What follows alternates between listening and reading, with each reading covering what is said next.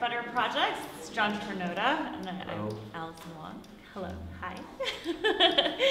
so we have um, we opened this space in Royal Oak, Michigan in 2009 as an artist-run studio and exhibition space.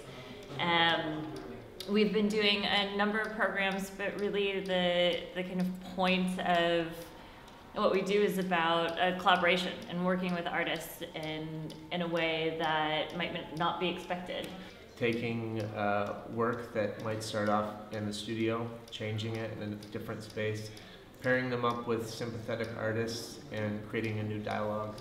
When you're making work in your studio and then you're pairing it up with an artist, you have an idea, but you don't know what these connections are always going to be until you get them in the same space. And whether it's a formal thing or um, a conceptual thing, it always changes every time. It's it's a way that helps us feed our practice. I see. Um, our studio practice and our curatorial practice as being, you know, completely intertwined, um, and that that keeps it really exciting. thing about Detroit is that it is cheaper for artists to move there and there's a lot of opportunity. What's really good right now is that the resources that are available and sort of for artists are not just uh, the economic thing. You have other artists that you might not be able to have access to in other places. So that really, the community is very tight and people are very open.